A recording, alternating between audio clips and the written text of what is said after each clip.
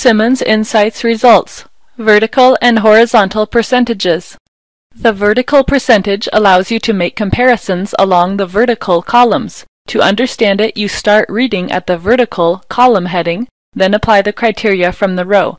So for example, let's look at these two numbers in the vertical percentage column.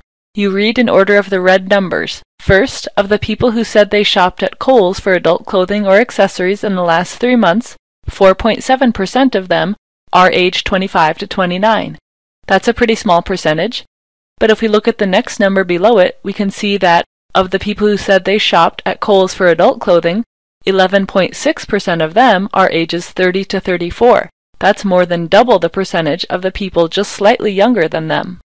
The horizontal percentage allows comparison across horizontal rows. It is read in the reverse order of the vertical. You start reading at the horizontal row heading, then apply the criteria from the column. So for example, let's look at these two numbers in the horizontal percentage. Read in order of the red numbers. Of the people who are aged 25 to 29, 9.8% of them said they shopped at Kohl's for adult clothing or accessories in the last three months. But if we look at the next number, we can see that of the people aged 30 to 34, 17.9% of them said they shopped at Kohl's for adult clothing.